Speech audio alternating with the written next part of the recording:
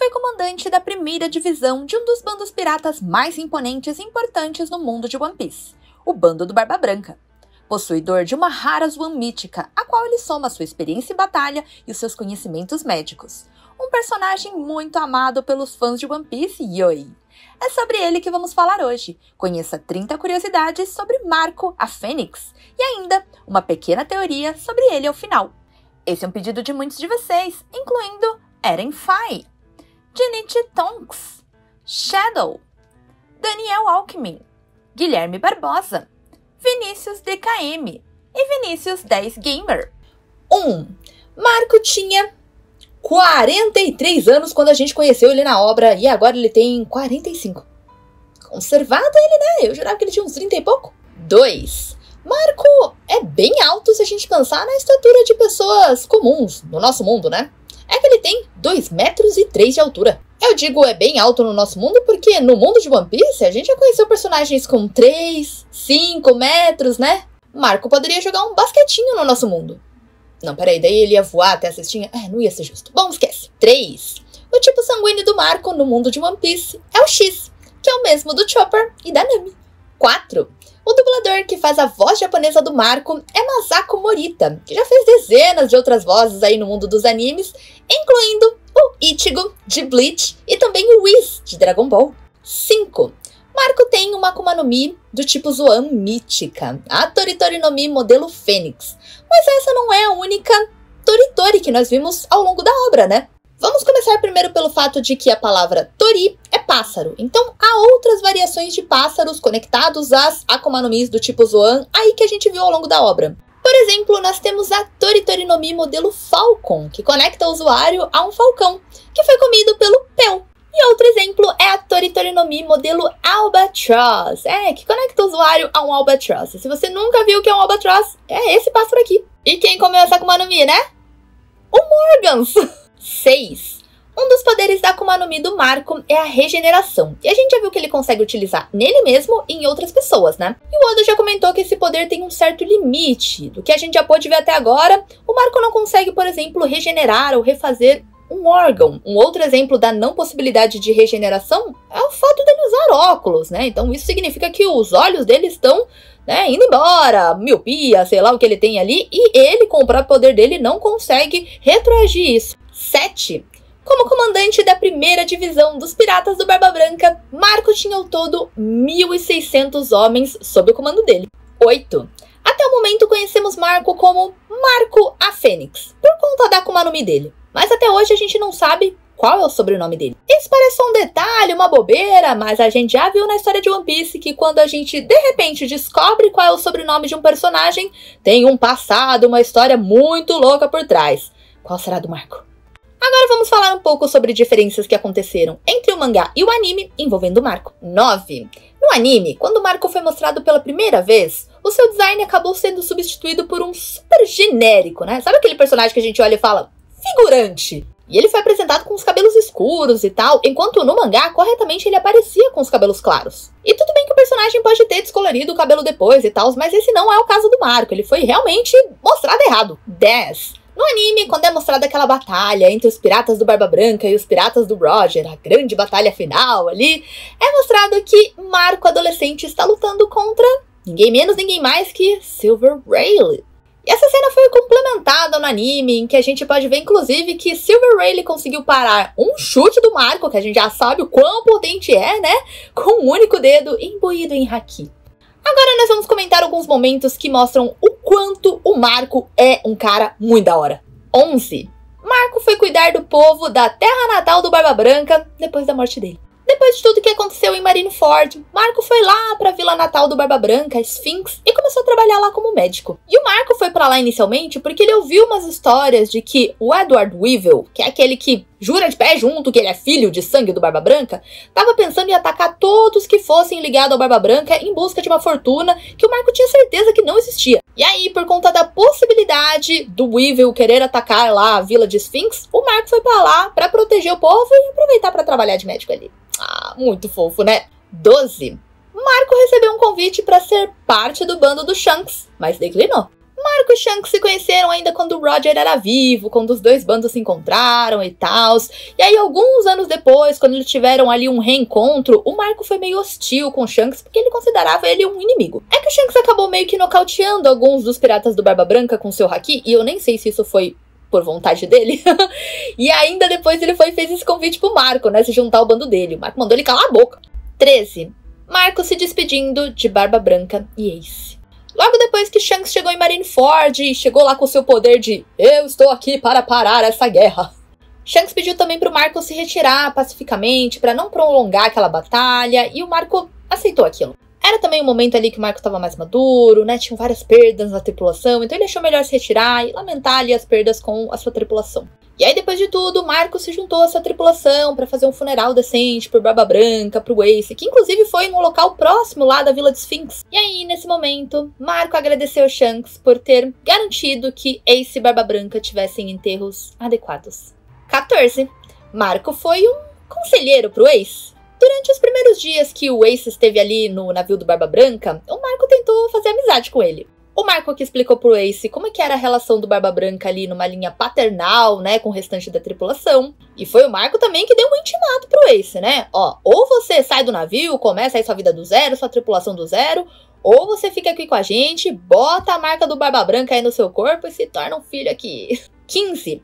Marco e Nekomamushi têm uma amizade muito forte. Por terem navegado juntos na época em que Oden esteve no navio do Barba Branca, parece que Marco e Nekomamushi criaram uma forte conexão. E é por isso que o Nekomamushi sabia exatamente onde encontrar o Marco quando eles precisavam lá de ajuda, de suporte em Wano. Lembram que o Nekomamushi foi certinho lá na vila de Sphinx, lá pedir ajuda pro Marco, pedir para ele pra Wano? Você tá curtindo esse vídeo de curiosidades? Ah, então fica aí porque ainda tem muita curiosidade pra gente ver pela frente, hein? Mas eu só queria te contar que se você curte curiosidades, principalmente curte curiosidades de One Piece, de personagens de One Piece, eu fiz uma playlist super especial que vai estar tá passando aqui em cima para você poder conferir depois todos os personagens que a gente já comentou por aqui. Mas ó, pega esse link, deixa ele aí guardadinho e vamos aqui conferir as outras curiosidades que a gente tem nesse vídeo. 16. Não sabemos muito sobre o passado do Marco, mas sabemos que ele foi uma criança que gostava muito de estudar, principalmente questões ligadas ali à medicina, assim como Ló.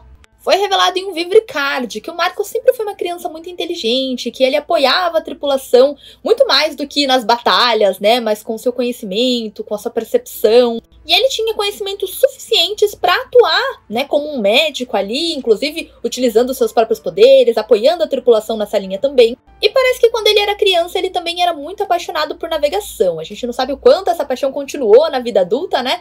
Mas pensa num pirata completo, né? Bom de batalha, muito inteligente, manja dos bangs médicos, gosta de navegar, só falta falar que o cara cozinha bem, agora é pronto. 17. Vocês já pararam para pensar que o Marco foi um dos únicos que peitou os três almirantes na época de Marineford e ainda tá vivo? É, ele chutou o Kizaru e o Aokiji para longe e ainda impediu um ataque do Akainu no Jinbei que tava protegendo o Luffy. 18.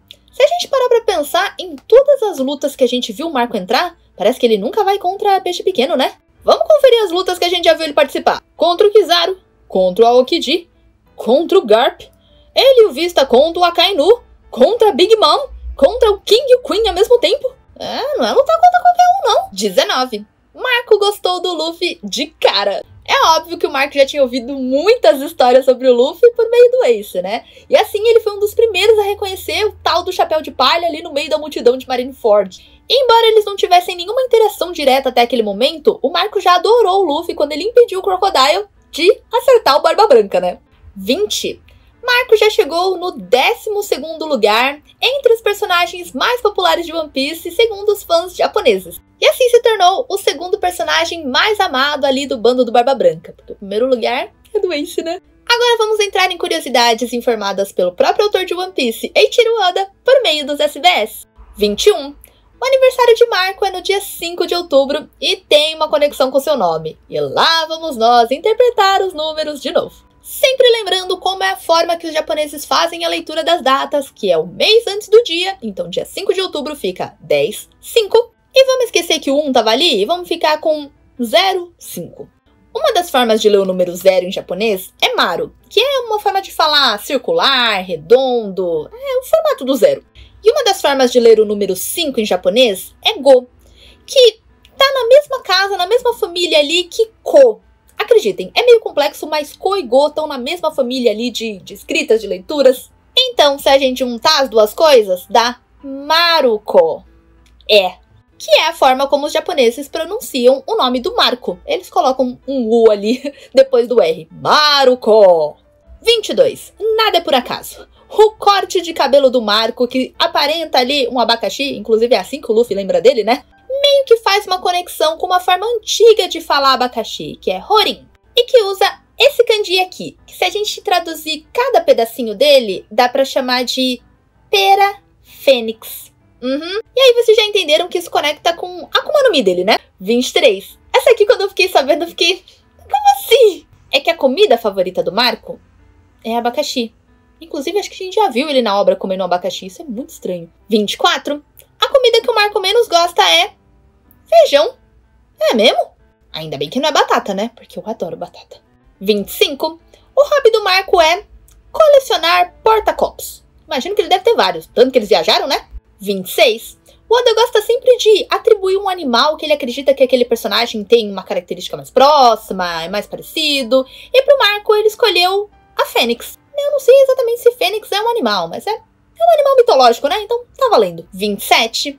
Marco é o primeiro personagem, a primeira pessoa na história que a gente conhece que comeu uma Akuma no Mi do tipo Zoan mítica quando esse conceito é introduzido na história. 28. Ai, gente, o que, que passa na cabeça dessa galera para fazer essas perguntas pro Oda? É que um fã perguntou pro Oda em uma cartinha no SBS se por um acaso o marquinho do Marco for cortado fora, ele poderá se regenerar. E o Oda falou que sim, é, quer dizer, não dá para regenerar outros órgãos e tal, mas aí dá pra salvar, viu? 29.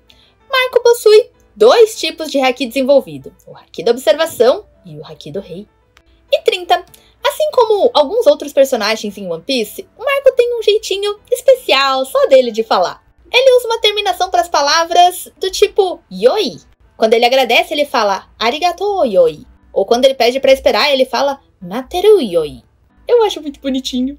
Terminamos as curiosidades, mas vamos entrar aqui em uma rápida análise sobre o Marco? É uma dúvida assim que ficou pairando no ar que me trouxeram outro dia. Marco é imortal?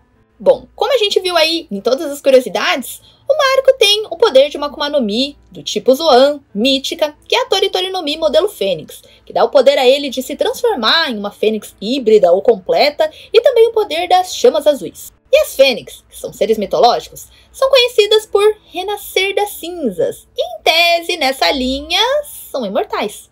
Mas será que a Akuma no Mi do Marco também tem esse poder?